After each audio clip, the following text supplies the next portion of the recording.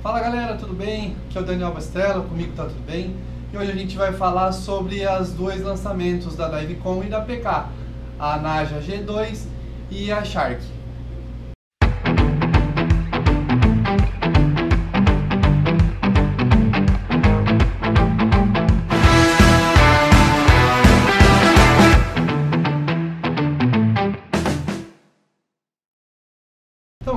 Última vez que eu fiz um vídeo né, falando das armas aí, foi a época que eu comparei o Elite Premium e o Samurai, que eram as armas da época, né, as armas mais é, completas da época, e parecia uma... foi meio tendencioso, porque na época eu preferi o Elite Premium, porque na época ela era mais... eu preferia por conta do solta-linha. Só que hoje em dia o, o, Samurai até, né, que até existe ainda até hoje, mas o Samurai já arrumou o esquema do solta-linha, então assunto encerrado, até arranquei o vídeo já.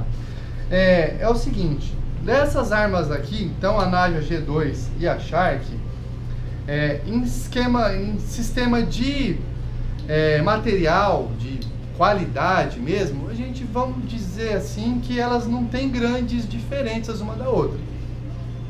O que elas vão mudar, basicamente, é, são o design, né, em relação às antigas. Então, ó, a gente tem aqui a Shark.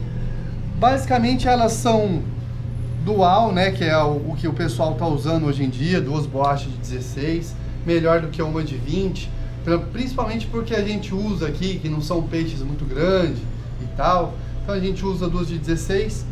É, a gente está com o cabeçote um pouco mais arrojado agora, né, o cabeçote basicamente o micro FH, a gente tinha aqui antigamente, eu vou mostrar já para vocês, o FH que a própria PK já tinha antes, só que ele era externo, ele era um pouquinho mais pesado.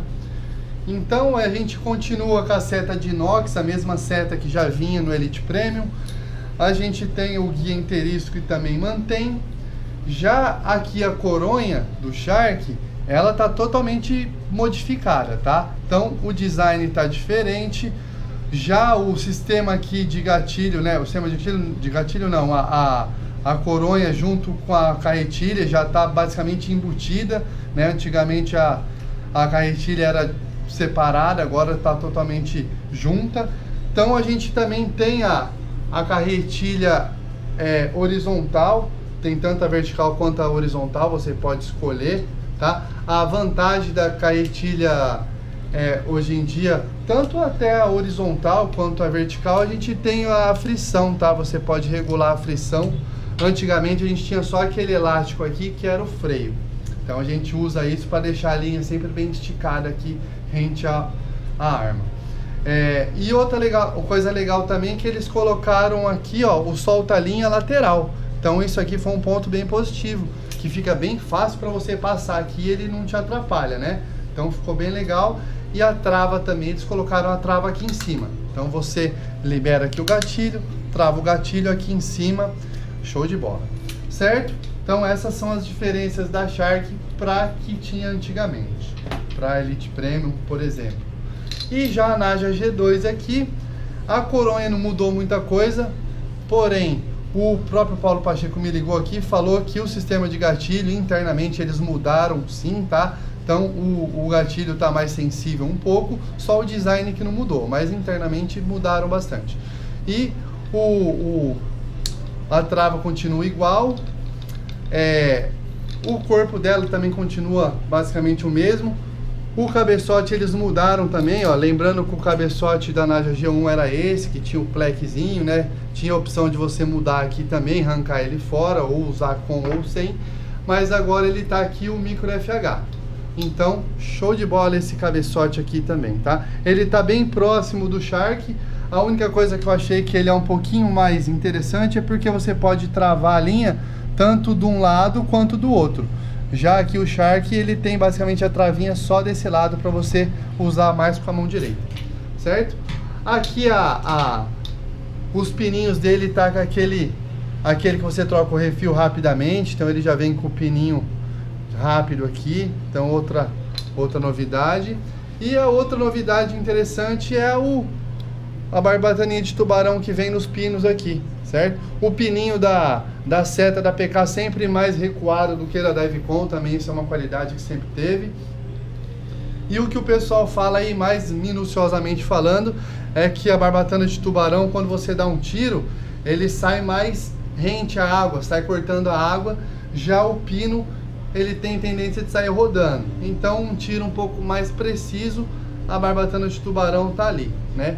Mas é claro que a gente, principalmente a gente aqui que mergulha mais em água doce, com um tiro mais próximo você não vai ter é, essa precisão tão ajustada assim, né? A gente não atira de tão longe para ter isso em mente. Porém, é um fica até mais bonito e tal, às vezes o tiro sai mais macio, então é bom a gente dar uma conferida. Ela também já vem aqui com a carretilhinha horizontal, com a friçãozinha e tudo mais. Então, armas completas, armas show de bola, né? Aqui só mostrando para vocês então, ó, olha só a evolução. O que, que a gente pode falar dessas armas? A gente pode ver que elas estão evoluindo, né? Elas estão evoluindo é, principalmente para deixá-las com um design mais arrojado para a gente conseguir manusear melhor. Então, ó, esse aqui é o cabeçote FH que a PK sempre teve. Então agora ela tá com o micro FH. Então ele não vem mais por fora da arma. Ó. Isso aqui antes ficava tudo por fora. Agora é tudo interno aqui no dentro do cano. Então ficou um pouquinho um pouquinho mais legal. Ó. Antigamente esse cabeçote aberto. Bem antigamente esse cabeçote fechado, que a gente eu nunca gostei dele, ó. Antigamente você ia dar um tiro aqui, ó. Quando a seta era de pino, ela batia aqui, ó. Pode ver que essa aqui tá tudo marcada lá, ó. Então, basicamente, é, eles vão lançando essas, essas armas novas para ir inovando, basicamente no modelo. Mas em termos de qualidade dessas, para Samurai, para Elite Premium, a gente pode dizer que a qualidade das armas não mudaram muito, tá? Então, qualidade de material mesmo continua sendo basicamente igual, o que está diferente é só o modelo mesmo das armas, beleza? Então é isso, não se, inscreva, não esqueça de se inscrever aqui no nosso canal, deixa a sua pergunta, se eu esqueci de falar alguma coisa da arma que você ainda tem a dúvida, é só você mandar aqui pra gente que a gente responde pra você. E é isso, certinho? Um abraço e até mais.